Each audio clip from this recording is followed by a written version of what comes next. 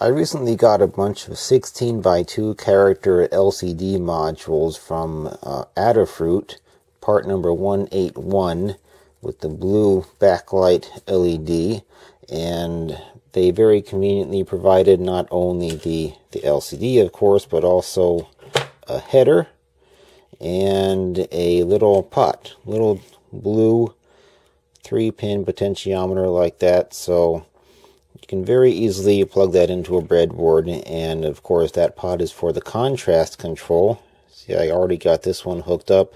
My whole the whole point of this is that I don't like that this pot is external to the module. I would like the pot to be part of the module itself, part of the the contrast control to be built in so I don't have to plug in a pot every time that I plug this into a breadboard and, and uh, hook it up to the microcontroller or the Arduino or whatever.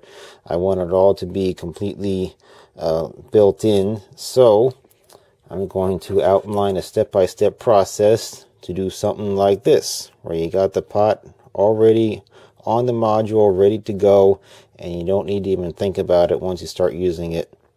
So this LCD is Tinsharp Industrial Company and there's the part number right there TC1602A-01T and again got these from Adafruit part number 181 and uh, you know all the stuff is right there. You can look it up. Anyway the pinout um, or at least the portion of the pinout that is of, of concern right here is pin 1s, 2, and 3.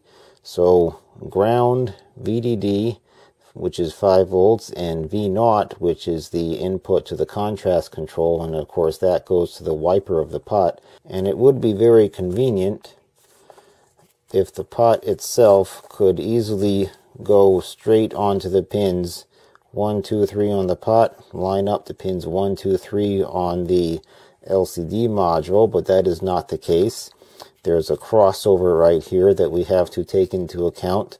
So we're just going to go ahead and bend the pins on the pot. Alright, so first there's pin 1 and 3 and pin 2 is of course in the middle.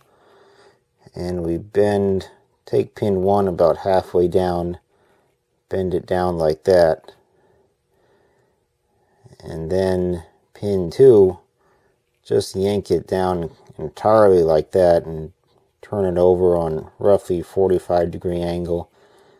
Pin 3, pull that one over and bend the end of it over like that. And then pin 2,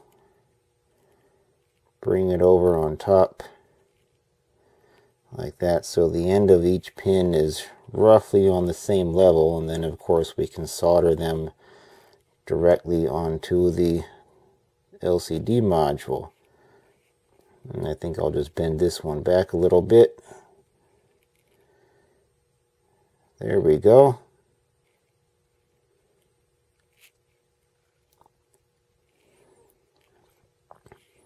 So there we go. Now we got pins 1 and 3 or both ends of the fixed resistance uh, right next to each other to match the ground and the VDD and then the wiper pin 2 that goes all the way out here and that's going to go on pin 3 of the LCD module.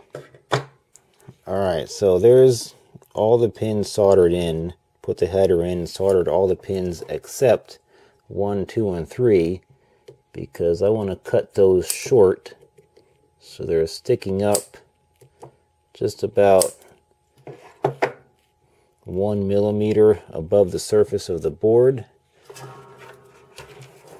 And then put a little bit of solder on there not too much just enough to get it all covered up and join them together.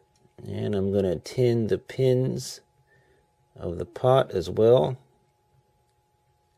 Get a little bit of solder on them. Then it's just a matter of soldering the pot onto the pins very carefully, of course. We've got uh, the pot pin 1 lines up with the module pin 1.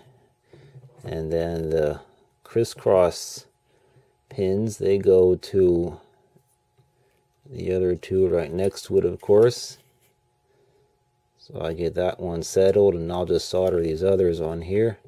Just reflow the solder that's already there and maybe add a little more for good measure. And all right, there we go. You can see the pins are crossed over but not touching each other there pins two and three and uh, all that's left now is to fill up just inject a whole bunch of hot glue in there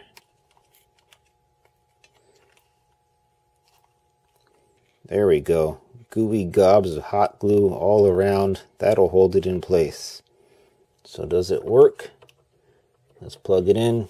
LED lights up. And contrast. Yep. Contrast looks pretty good too. Awesome. So there we go. There's a module that has one less step to actually set it up in order to make it working because the pot is already mounted on there and you don't have to wor worry about it ever again. Um, one other thing that could be done to minimize the parts count if you include wires on your breadboard as parts, and that would be just hardwiring the uh, VDD and ground straight over to the LED connections over here on pins 15 and 16, but I decided to leave those go um, in case they ever need to be hooked up to a different power supply or pulse width modulation or something like that to vary the brightness of the backlight. But at least the contrast is already good to go and don't need to worry about that ever again. So thanks for watching. Give this video a thumbs up if you learned something. See you later.